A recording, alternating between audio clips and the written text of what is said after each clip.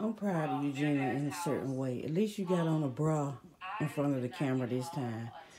And because I don't know why you want to show us your private part all the time. And, and I know we can't help how we born, but you know what you're doing. Nasty self. That's why Ethan be getting picked at.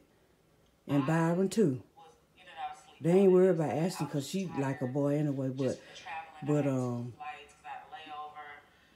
I know them boys be embarrassed that every man in the country can see their mama private part all the time because she's not considerate enough to to think about how children bully. It, I mean, it's good to show off your body, but not on OnlyFans, not on on street, them other ones, and not to that white man. And we sick of seeing you. Cover yourself up. It don't take all that.